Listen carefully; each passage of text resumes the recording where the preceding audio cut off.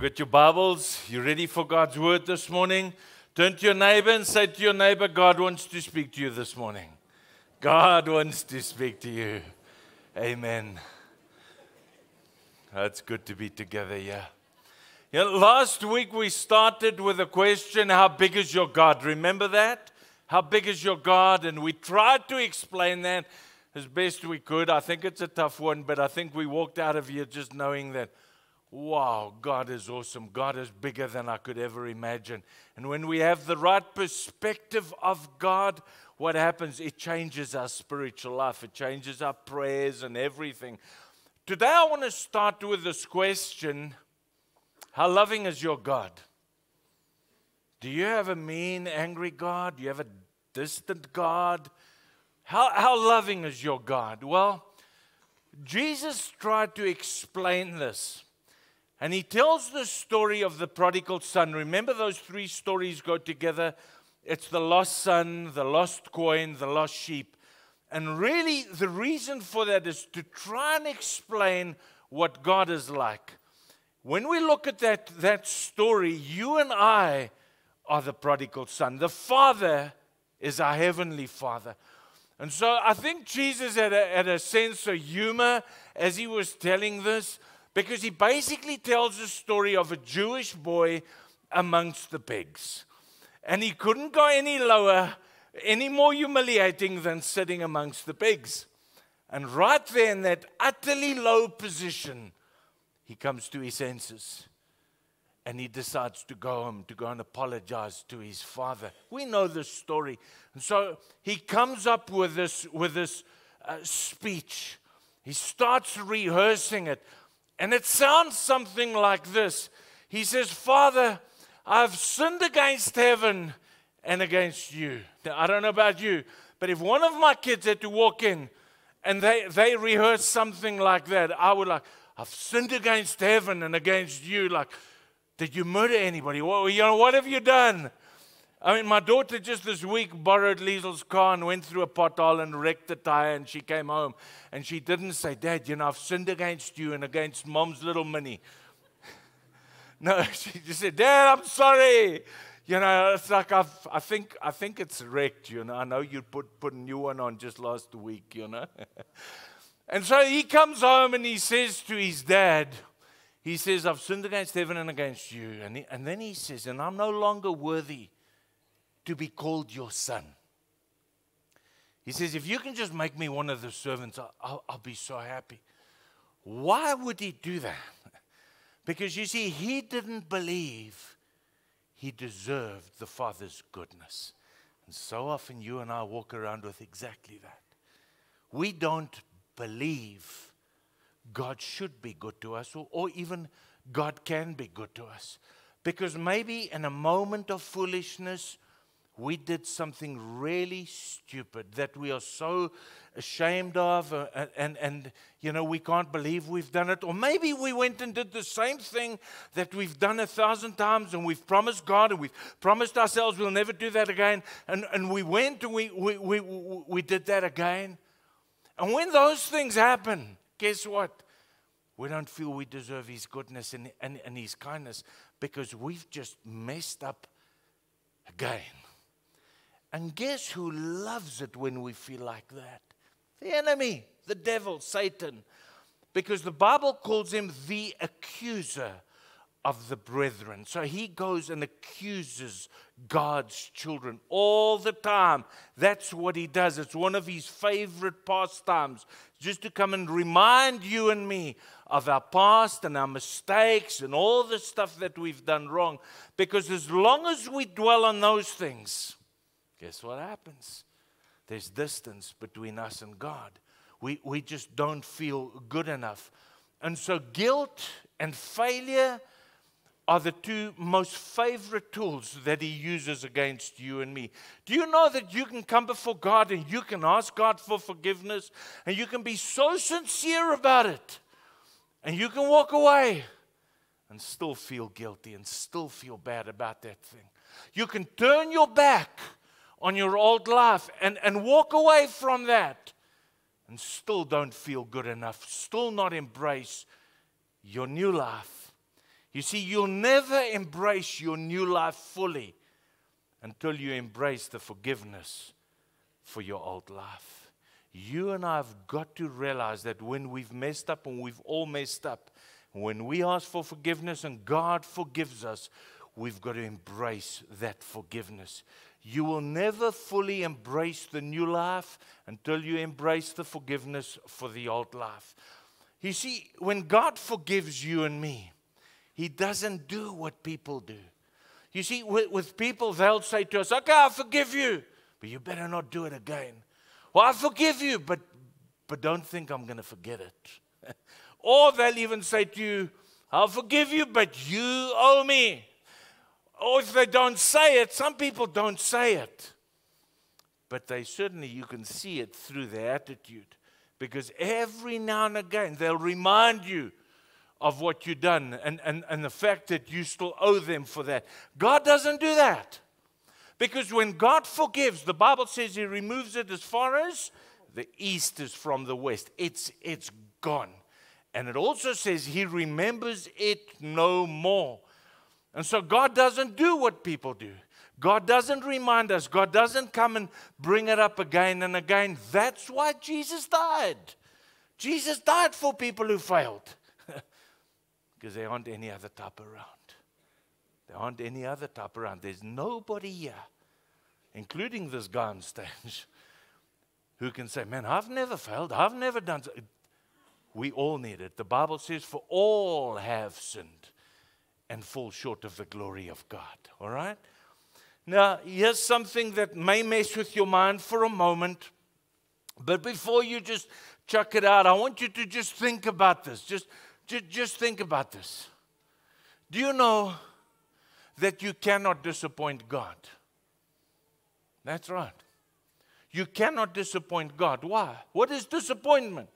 Well, disappointment is the gap between the expectation and the reality.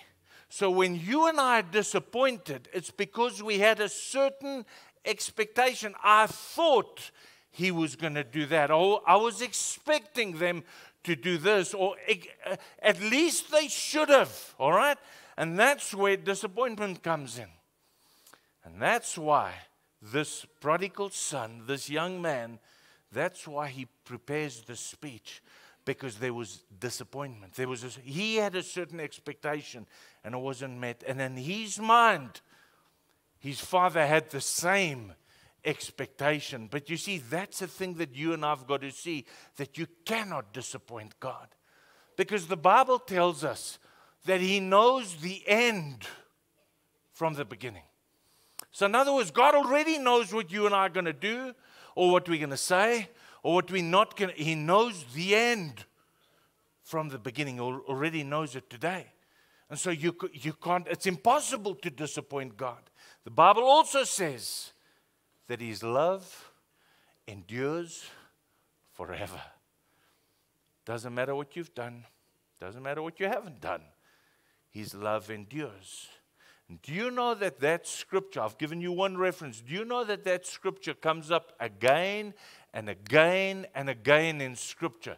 Uh, God, God uses different authors to put it in different books in, the Bible. Why? I think it's because if, if you miss it in this book, you're going to find it in that book. And if you miss it there, you're going to find it there. God puts it in again and again and again. His love endures, His love endures because God wants us to know how much He loves us and that we cannot disappoint Him. And it doesn't, doesn't matter what we've done or what we haven't done. You and I can't do anything that will cause God to love us any more or any less. So, in other words, God's love is not conditional. Our love is if somebody does this or doesn't do that, then, then I may not love them anymore. God doesn't operate like that. And that's what blows our, our, our, mind. That's why we battle to understand it that God's love is not conditional. Even if you and I decide to renounce our faith and to curse God and to turn our backs and to walk straight to hell, I believe, this is what I believe that God's love will follow us all the way right to the gates of hell because scripture says his love endures forever. That's the God whom we serve, and that's why it's so amazing. And it's this love that the older brother didn't get. He just didn't understand it. And the younger brother didn't get it. He didn't understand it. Why? I think it's because they didn't really know the Father. Because if they knew their Father, they would have known He's forgiven. He, he, he forgives. You know, he'll, he'll, he'll give me another chance. They didn't know the Father. And so here's the takeaway for today God's love is not earned or deserved, it's freely given. You and I cannot earn God's love. There's nothing more that you can do or not do to deserve God's love. It's freely given. Jesus says in Matthew chapter 10, He says, Freely I have given, you've received. Now freely give. So, in other words, you've received love. Give love to those around. You've received forgiveness. He says, Not give forgiveness. You've received grace. He says, Now give grace. Freely you've received, freely give. You see, if you and I don't have the right image of God on the inside, we're not going to have the right relationship with God. And so, some people, when they think of God, they see God as, as this being out there. He's distant, he's far away. They'll refer to him as, as, as the man upstairs. Other people see God in a, in a very formal way, almost like the, like the Old Testament uh, uh, uh, uh people. You know, he's, uh, they, have got a very a reverential fear for God. And, and it's not wrong, but it's, it's one way to see God. You know, uh, God is, is, is, is this, this very strict being. Some people even see God as an enforcer. They see the Bible as a book of rules and regulations. And, and so God's just waiting for you to break one of those rules and, and He's going to zap you. I think the right image for you and me, the right picture that you and I need to have, according to the Bible, is of a loving Heavenly Father. None of that other stuff. A loving Heavenly Father. Somebody who's there to help us, help us when we make mistakes, to help us achieve everything that He has for us. Somebody who will, who will cheer us on, uh, somebody who really believes in us. God says, I've got good plans for you to bless you and prosper you, not to harm you. That's the God that we serve. You know, He, he believes in us. And so I think for many people, they, they see God as, as their Savior, and that's good. But when you start seeing Him as your loving Heavenly Father, everything changes. It transforms your relationship with Him. Now, maybe you've grown up in a home where you didn't have a loving Father. Maybe, maybe you didn't have a father at home. Or maybe you had a father and, and, and he was distant. Or maybe you had somebody who was mean and harsh and, and, and impossible to please. I, I don't know. But if that was the case, just be careful that that, that image that you have of an earthly father, that, that it doesn't taint the image of your heavenly father, that you don't project that onto your heavenly father. I think our frame of reference for the term father is often loaded with baggage from what we've experienced on this earth. And so, if, if, if you have baggage, if, if you don't have a good image, you, you've got to switch between your earthly father and your heavenly father. Because Jesus, when he gives us the Lord's Prayer, what does he tell us to do? He says, Pray, our Father, which art in heaven. You know what he's saying? You've got to switch. You've got to switch from this realm to that realm. You, have got to look beyond your earthly father, beyond all his mistakes. And, and let me just add in here no father is perfect, by the way. So if you didn't have a perfect father, join the club. So have probably all of us. So no, no father is perfect. And you've got to look beyond that when you look to your, your heavenly father. So, how do we know what God is like? if you didn't have a, a good father, if you don't have a good image of, of, of a father, how do we know? You've got to go back to Scripture. Remember what we said last week God reveals himself to us through Scripture. God uses us. One of the reasons God has given us Scripture is to reveal himself. And so you can't really know God if you don't know some of this. We'll never know everything, but you've got to know some of this. And so, one of the best places to start is just go to the four Gospels and just look at the life of Jesus. Because Jesus says, Anyone who has seen me, seen the Father. So he says, You look at my life, you'll have a pretty good idea of what our Heavenly Father is like. When, when you and I start looking at Jesus' life, you know what I see? I see somebody who's, who's caring, loving, compassionate. He helps, he heals, he's got grace for people. It's just, just amazing. The Bible says, a bruised reed he will not break. Talking about Jesus. What does that mean? Well, when you're down, he's not going to kick you. As a matter of fact, the Bible says in Psalm 46, he says he's an ever present help in times of trouble. So when you go through a tough time, when there's hardships in your life, He's not going to kick you when you're down. He's there to help you, He's there in, in, in times of, of trouble. And so you and I have got to look at, at, at the life of, of Jesus, and we've got a pretty good idea of what God is like. I shared this amazing truth with you last week. If, if those of you were here, the fact that God loves you, listen to this God loves you and me as much as He loves Jesus. I don't know about you, but, but, but that blows my mind. I, I, I know God loves me. He sent Jesus to die for me. Uh, scripture says, if He sent Jesus, won't He freely with Him give us all things? So, in other words, if He's done that, you better know He'll do almost anything for you. That's what Scripture says. So, that's how much God loves us. But when I discovered some years ago that He loves me as much as he loves Jesus, I, am telling you, that just blew my mind. You know, I, I, how's that possible? And so if you weren't here, let me give you the scripture quickly John 17 23. And this is Jesus speaking. He says, Then the world will know that you sent me and will understand that you love them as much as you love me. What an astounding thought. It doesn't matter how many times you failed. It doesn't actually matter how selfish you've been, the kind of life you've lived. He still loves us. And the Bible says in, in Jeremiah chapter 31 that He loves us with an everlasting love. So, in other words, it's not going to change. That's why we can say it doesn't matter what you've done and not done, He loves us with an everlasting love.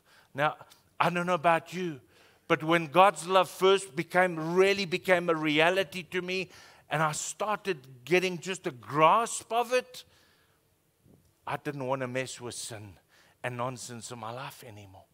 You know, I, I look at God, you've done so much for me, and you love me so much. Somehow, all I want to do is, is just love Him back. Just live a life that will honor Him and live a life that, that, that will please Him. I don't want to take advantage of, of this love. Now, maybe you're saying today, well, Leonard, you know, I've made so many mistakes.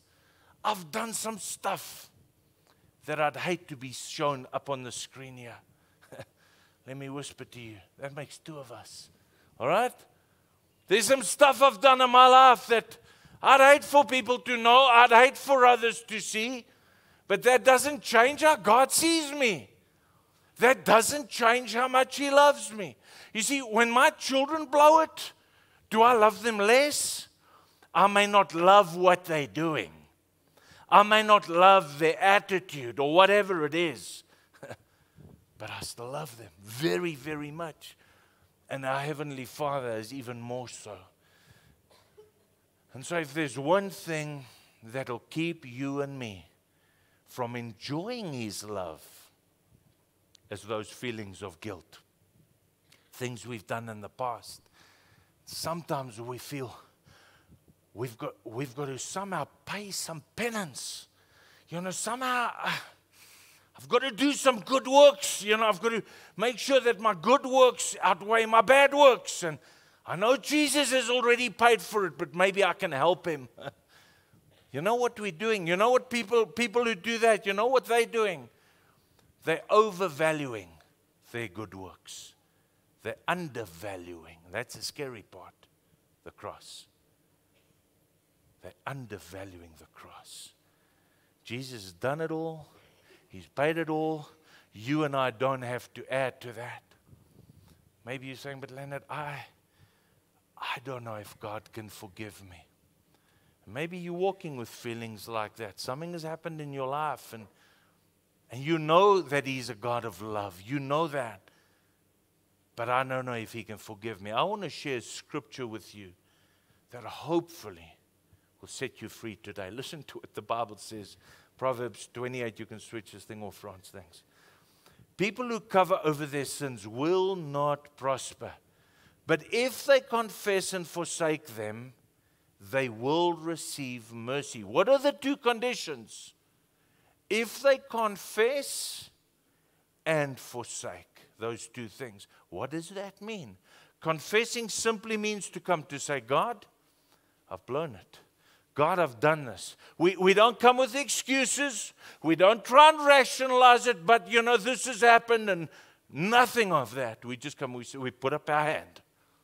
One of the best things we can teach our children put up your hand when you've done something wrong because that helps them to do it with God one day. Don't come with excuses. Just say, I've blown it. I've done this. I shouldn't have. That's what it means to confess. And then, what is the second thing that it tells us to do? We need to confess and forsake. Forsake simply means I turn my back, I walk in the opposite direction. You see, it's no use saying, Oh, Lord, I'm so sorry I did that, and tomorrow I just keep doing it again. No. When we confess, we say, Lord, I've blown it, and I turn and I walk away from that life, when I forsake it, God says that's when we receive mercy. Bible says in 1 John 1 verse 9, if we confess our sins, he's faithful and just to forgive us and to cleanse us. So in other words, he makes us brand new again. But it's got to come from our side. Now again, I'm not saying, I'm not saying God's love is an excuse for you and me to, to, to mess with sin a little bit and we come and ask for forgiveness and then, and then we mess a little. It's quite the contrary because of his incredible love. And the fact that he just keeps loving me, that I say, Lord, I, I, I don't want to mess with sin. I, I don't want to go down that road anymore. I want to live for you. I want to honor you. Have you ever wondered, but Leonard, why is it? Why is it that I keep battling with sin? Why is it I keep doing some of the stuff I don't want to do? And it's very simple, really. It's because we keep on focusing on this, on, on what we want, on our selfishness. So, in other words, our lust, our desires, our passions and pleasures and stuff, we, we focus on those things rather than focusing on God.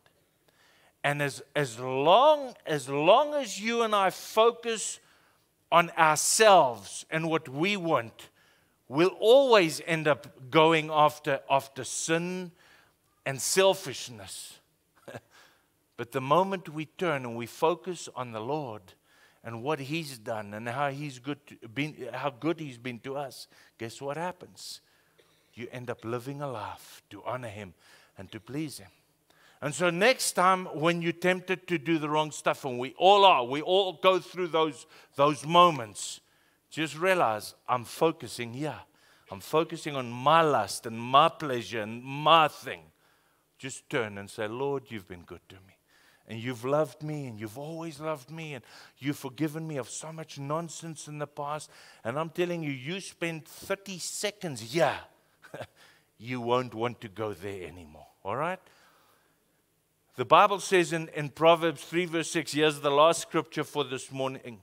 In everything you do, put God first, Put God first. In other words, don't put yourself first and, and, and your desires. Put God first, and He will direct you and crown your efforts with success. So let me wrap it up for us. Why have I shared this with you today? Because it's so important for us to have the correct biblical understanding of God's love. Because when you and I start grasping it, I don't think we'll ever fully grasp it on this earth. We won't. Because our love is very conditional. His love is unconditional. But when we start grasping something of it, guess what happens?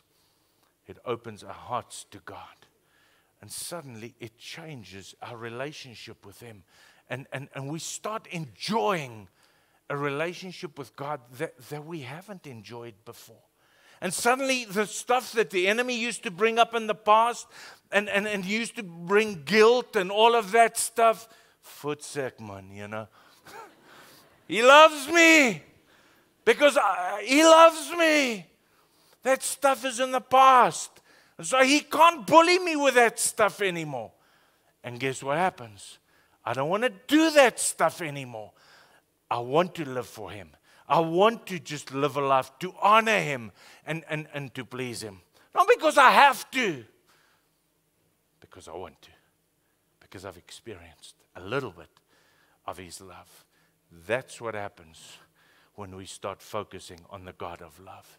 The Bible says He is love. He doesn't have a little bit of love, He is love.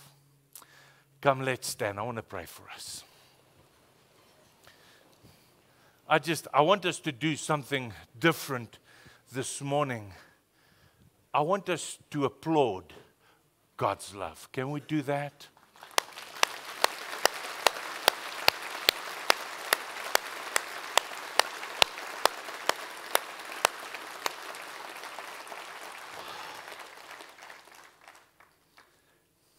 Lord, we don't actually know how to respond to your love.